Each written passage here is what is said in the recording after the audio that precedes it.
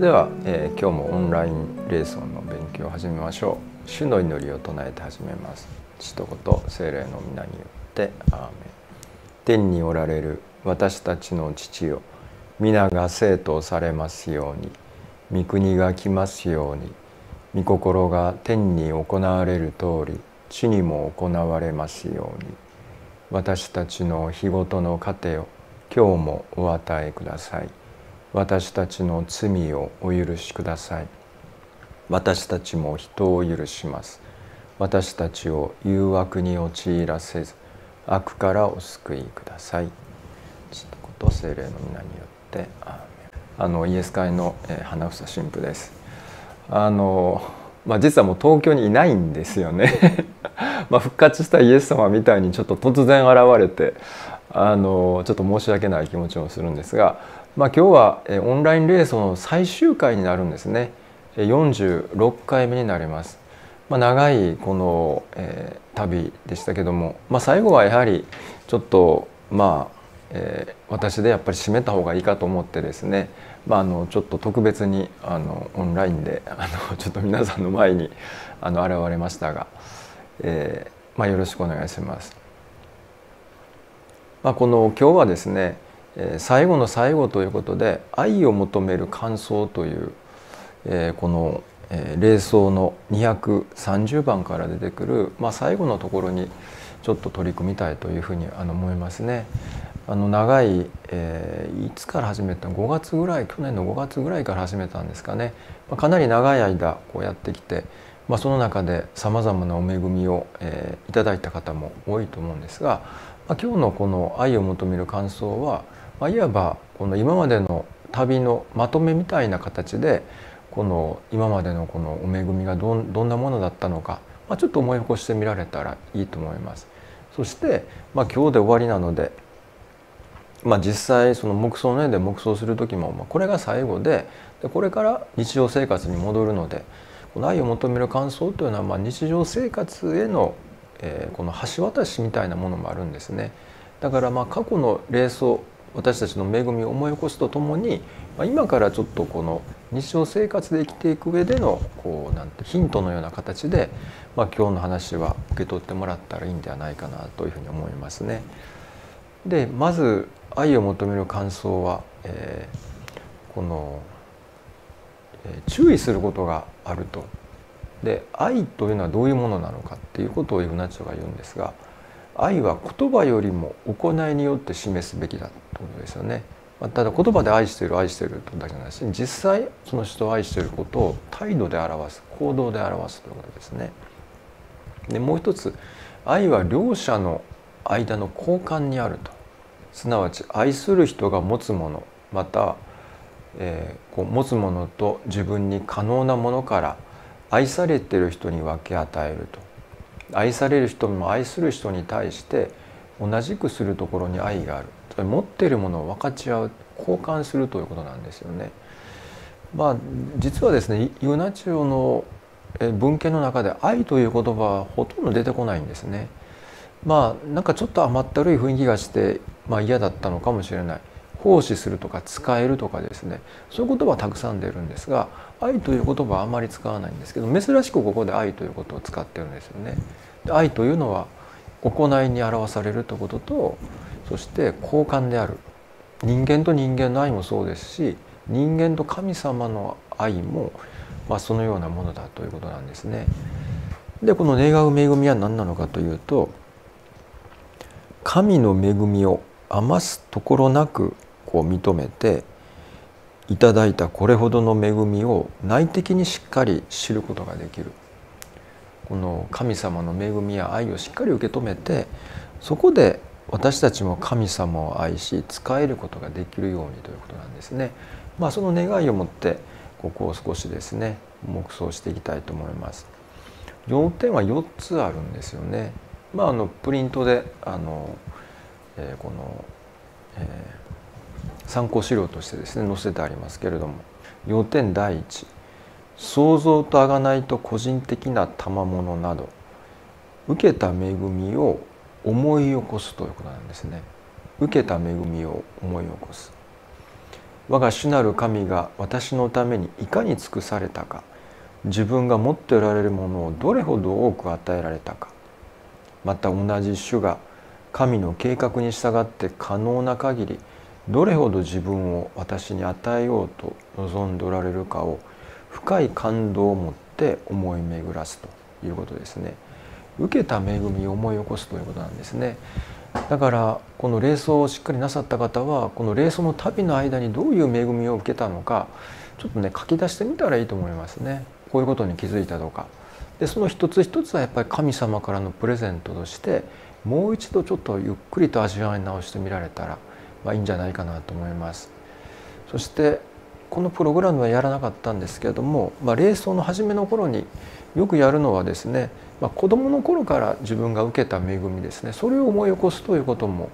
あのものすごく力になるんですよね。というのは私たちはいただいたお恵みとかこの賜物とかですね実はすぐ忘れちゃってるその時は感謝あの良かったなと思うんですけど次の日になったらもう忘れてたり2年後3年後になったら忘れてることもあるだからやはりこの恵みを思い起こしてそれをよく味わってみるということなんですよね。まあ、これはまあ私自身も祈りの中でたびたびしますけど、まあ、子供の時にですね、まあ、両親から受けた恵みとか、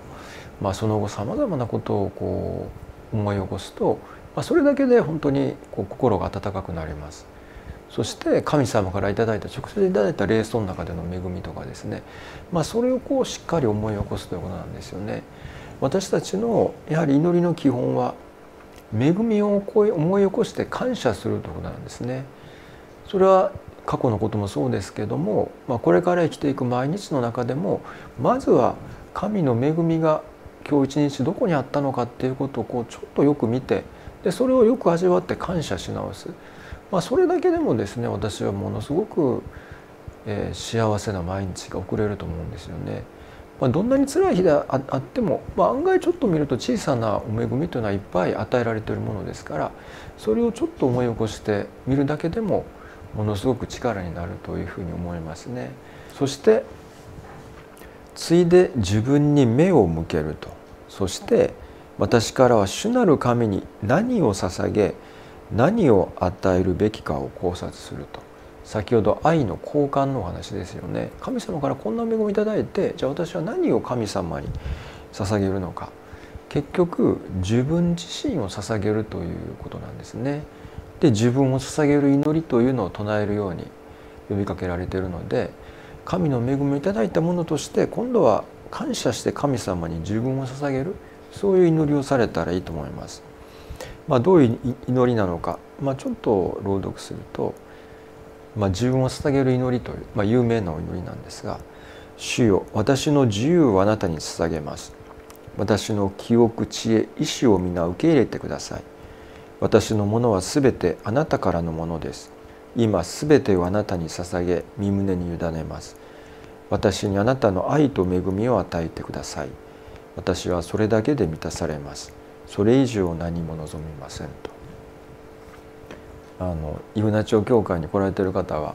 あのこの歌必ず歌うんですよねあのうちのオルガニストがちゃんと作曲した 歌があってあの集まりで必ずこれをあの歌で歌うんですけれども、まあ、そのこの自分を今度は捧げる心から喜んで捧げるということなんですよね。それで、まあ、それも言葉だけじゃなくて行いを通してってことですよね。まあ、それが私たちに与えられている人間の、まあ、最高の幸せじゃないかなと思いますね。まあ、これが第一の要点で、まあ、一つ一つゆっくりやっていただいてもいいと思うんですが要点第2 2番目ですね。これは何かというと神がいかに被造物のうちに住んでおられるかを見ると。この世界の中に神様がどのように住んでおられるのか。つまり物質の元素には存在を与えながら植物には成長を動物には感覚を人間には思考力を与えながら住んでおられるということなんですね。まあこれも本当によく、えー、味わっていただいたらまあいいのではないかというふうにあの思いますね。まあ、例えばまあ自分の小さな体験を分かち合うとまあ、やはりこのコロナであんまり人に会えなかったせいもありますがやっぱりこの自然、まあ、あんまりね体力ないからもう山登りまでしないんですけどもでも近くの公園とかよく行ってですねこの自然の恵みは本当に人間を癒すっていうんですかねさまざまな、まあ、小さなね、まあ、鳥とかあるいは花とかそういうことに触れるだけでもなんか慰められる。で大自然の中にやはり神様がおられて神様が私たちをこの力づけてくださっているということですよね。まあ、それは本当に味わい深いことなので今一度そういう恵みをその被造物を通しておられ働いてそこにおられる神様を味わってみたらいいと思うんですよね。人間で言うなら、まあ、まあ一番すぐ思い浮かぶのはやっぱ共に祈る時ですね。信者さんと共に祈る時にいかに神様がそこにおられるのか、まあ、最近のことでは、まあ、2019年になりましたけど教皇様が来られたミサどれだけみんなで集まって、まあ、パパ様もおられてですね、まあ、どれだけそこに神の力が働いてるのかも明らか本当に大きな感動を感じましたしユーナチオ教会で時々行うインターナショナルミサとかまあ大規模なことじゃなくても小さな黙想会とか小さなグループの中でもですね共に祈る時にですねどれほどそこで神を感じられるかまあそれはたびたびですよね。まあ、そういうことも皆さん振り返っていただいたらまあいいのではないかなと思います。もちろん日常の中のさまざまなことですよね人の中にもマザー・テレサとか偉大な聖人の中におられる神様にもやはりこの感動しますし案外こう小さな人々っていうんですかね苦しんでたり貧しい人々の中にやっぱ神様がおられてそういう人に触れる時に何かこう恵みと力をいただくこともあるんですよね。まあここでやった大人食堂とかあの困ってる方々でも彼らとちょっとお話しするだけでも何かですねあ神様がおられるなっていうことを、まあ、感じたこともたびたびありますね。もちろん嬉しい出来事や楽しい出来事の中に神がおられますしでもやっぱり後からよくよく振り返ったら辛い出来事とか苦しい出来事の中にも後からですねその時はもちろん分かんないですけど後からやっぱり神がおられたなと神様がそこで自分に大切なことを教えてくださったとかですねやっぱりあの苦しみを乗り越えられたのは神が共にいてくださったんだなということもありますね。だからこれも本当に皆さんよくそのいろんな角度から味わってくださればどれほど恵みを頂いているかっていうことがよくわかると思います。そしてこの瞑想を終える上でイグナチオがよく言うのはですね全てのものの中に神を見出しなさいと全てのものの中に人間の中にも自然の中にも人々の中にも苦しみの中にも喜びの中にもそして自分自身の中にも神様がおられる全てのものの中に神を見出すことが私たちのやっぱ信仰生活のこの大きな喜びだと思いますね。日常生活の中にこの被造物の中に普通だったら見出せない神様がおられるわけですから気が気が付いていないだけですからまあそれをちょっと振り返っていただいたらいいと思いますね。そして自分を捧げる祈りを捧げるということなんですね。そして要点の3番目ですけども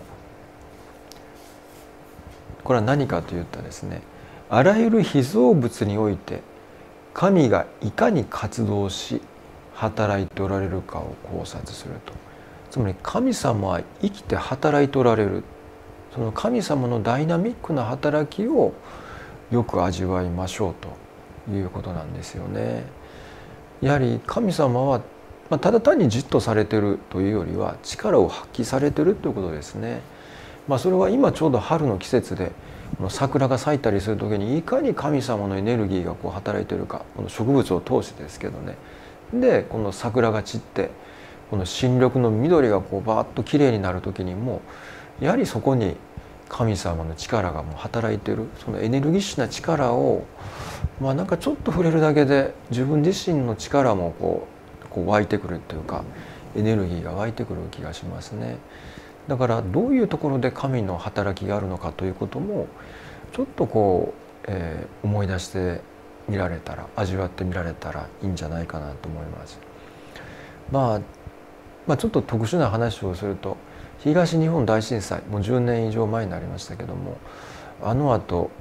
あのまあボランティアに行ったりしてですね、まあ、行ったのは釜石だったんですけどその隣の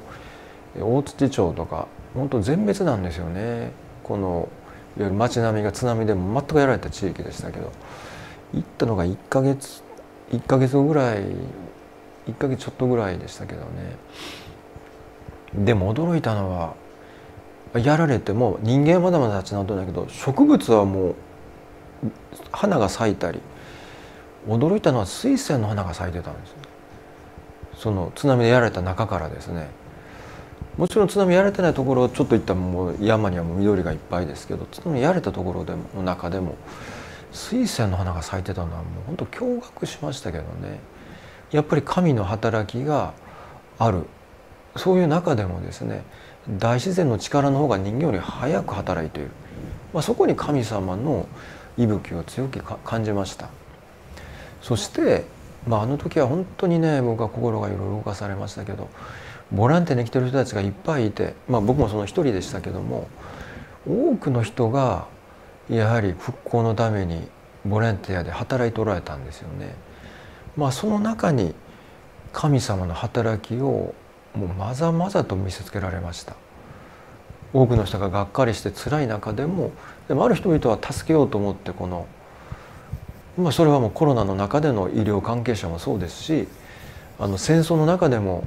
ウクライナの戦争の中でももちろんボランティアでね助けてる方々がやっぱり人間の素晴らしさと人間を通して働いている神様の働きに本当に心が動かされますね。だからこそ私もこの神様の働きに合わせて自分もやっぱり働いていこうってする力がやっぱ湧いてくるんですよね。まあ、イグナチョ教会ではミッション2030というテーマでこう活動していて新しい共同共に働くという共同ということを強調してるんですけどまあね僕はこの共同の根本は神様と共に働くってことなんですよね。神様が働いておられるから自分も一緒に働く。神様のために人々のために。でこのそのために働いてる人がまあ多いわけなんですよね。東日本大震災はまあ特別な時だったかもしれないですけどでも教会の中でどれぐらいの方々が奉仕されてるかさまざまな、ま、トイレの掃除をされてる方もおられるならばミサの奉仕をされたり掃除をされたりホームレスの人のために働いてるまあね本当に神様が働いてるでその神様の働きに協力されてる方々が本当素晴らしいと思うんですよね。どんな活動というよりは神の働きに共に働く共同しているということですよね。まあ、それを本当に私たちはこれからも心がけていきたいと思います。黙想を深めるってことはただ単にじっとしてるというよりは黙想を深めて神と共に働いていくっていうことなんですよね。そういう気持ちでこの自分を捧げる祈りを唱えながらやっぱり神様と共に働いていけるそういうものになっていけたらあの本当に素晴らしいと思いますね。そして要点第4なんですが「全ての良いものと賜物がいかに天井から下るかを見ると。神の恵みがこの上から注がれてるのをこのよく味わいなさいと。太陽が降り注ぐようにこの泉から水が滝のように水が流れる。それをこう味わいっていうんですけどもですね。まああの、まあ、修道者なので年に1回1週間ぐらい年の黙想というとこの瞑想を深めるんですけど、まあ、この前の霊想ではまさしくねもうこれをものすごく感じたんですね。もう神の恵みがねほんと滝のようにこう上からもう注がれてくるっていうかですねもう本当に喜びっていうかこの世のどんな宝ももう味わえない恵みをこう味わうことができるんですよね。そのそれぐらいの恵みは実は注いでもらってるのに私たちが気づいてないだけなんですよね。本当に残念だと思いますけれども、まあ、そこをちょっと私感じることができて本当に感謝でしたけどもですねそのような恵みが一人一人にもう莫大にあふれるほど実は注がれてる、まあ、それを私がしっかり受け止めて神の恵みを生きていくことができるならば私たちの信仰生活は、まあ、どれほど素晴らしいものかというふうに思います。一人一人に主は恵みを直接注いでくださってますし人を通して自然を通しても注いでくださっている、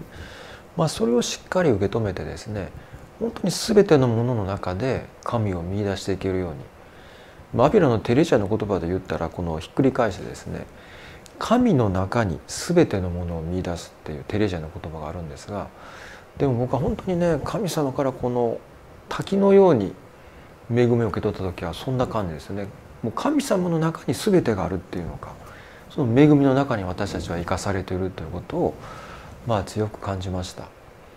まあもちろんそのちょっとそうそういうことを強く感じることは、まあ、そんなめったにないんですけどでも私たちは日常生活の中でこれからもですねせっかくこのように黙想したり乾燥したりすることをされているので是非ともこれを継続してくださったらいいと思うんですね。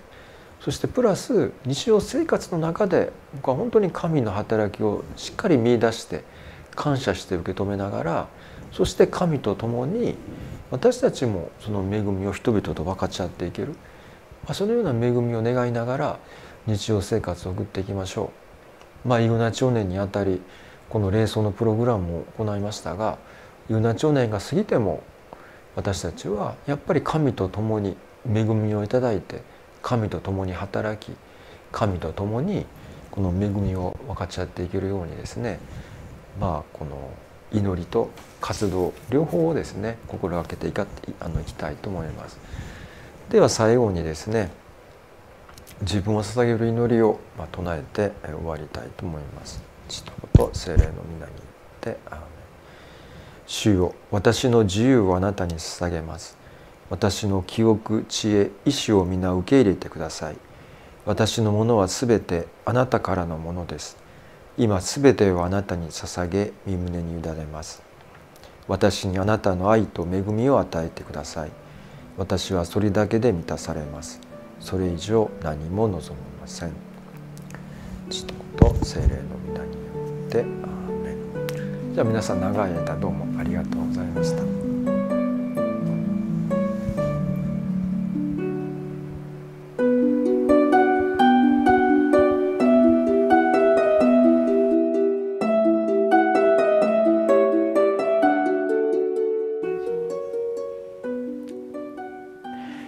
年間の霊装の視聴お疲れ様でした。私がご紹介した内容の中に神様はあらゆる方法で人間と関わろうとしておられるそのような言葉がありました。生活の中であるいは世界で起きている出来事を通して神様が何かを語っておられるその感覚を皆様が磨いていただければと思います。個人的には4月の19日に父が亡くなりました。父は大空襲で大変な苦労をしていて平和は絶対に守らなければいけないと言っていました。7月31日イグナチオのお祝いの日に私はモンテッソーリの全国大会でお話を頼まれています。モンテッソーリがあるいはアンネ・フランクがどのように平和を願ったか考え直して若い先生方に伝えたい。それが今の私の使命です。どうか皆様も生活の中で使命を見つけそれを果たしていく、まあ、そうすることで霊想を深めるそんな人生を生きていただければと思います。本当にお疲れ様でした。ありがとうございました。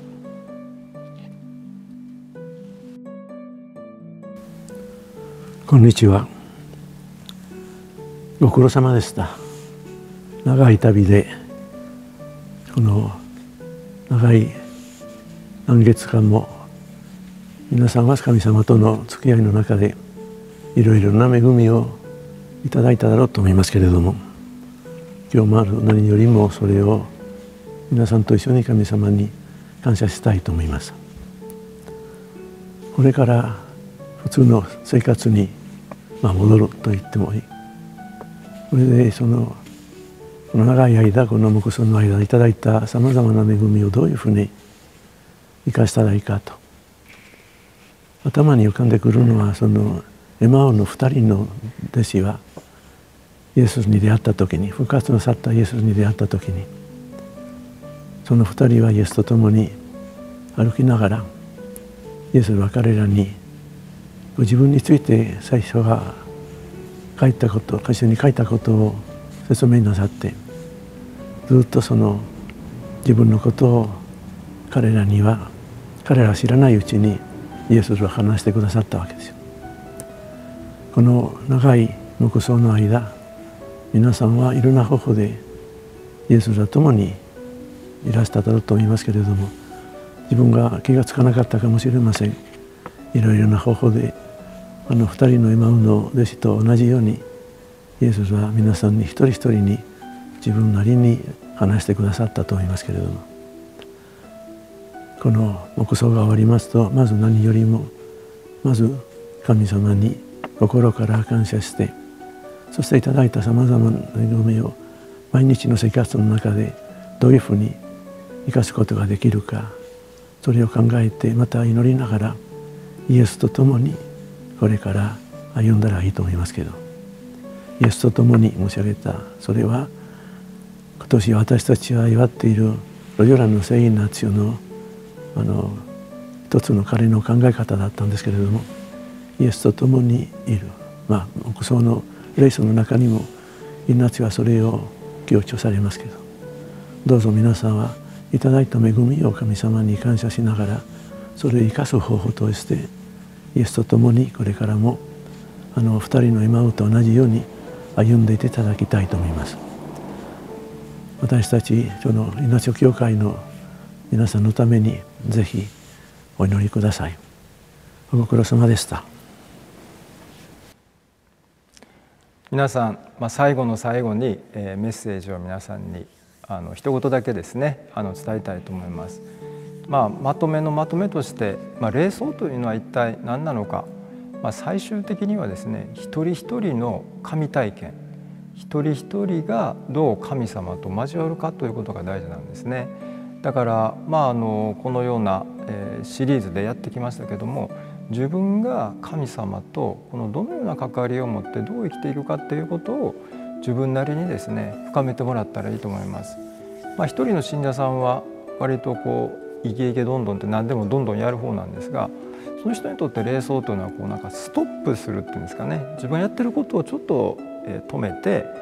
そして振り返ってそれが本当に神の身旨かどうかを確かめるそういうステップがその人にとっては一番大事だと言っていましたけれども人によってですねこのやり方とか神様との交わり方はユニークなものなのでこの霊想の流れのこの典型的なことでも別になくてもいいですし自分が神様とどう関わってどう親しみを持ってそして日常生活でどう生きていくか神の身旨を果たしていくのはどういうふうなことなのかということ、まあ、それをですねしっかりこう自分の中で深めていきながらまあ、これからもですねあの祈りとこの信仰生活を歩んでくださったらいいというふうにあの思います。私たちの信仰の道のりは、まあ、結局一生涯ですからね、まあ、体の元気の時と、まあ、病気をしたりあまり不調の時で、まあ、その感じも変わると思います。若い時と年取った時の感じも変わると思うんですが一生涯神様と私たちは交わってイエス様に従っていく。その形もやり方も時によって変わっていくでしょう。でも神様との交わりをしっかり持ちながら日々の生活をいつも神と共によりよく歩んでいけるようにですね、まあ、これからも続けてこの霊想あるいは神との交わりを続けてくださったらいいと思います。えー、皆さんのこの霊的生活に、まあ、神の祝福があるようにあの心からお祈り申し上げます。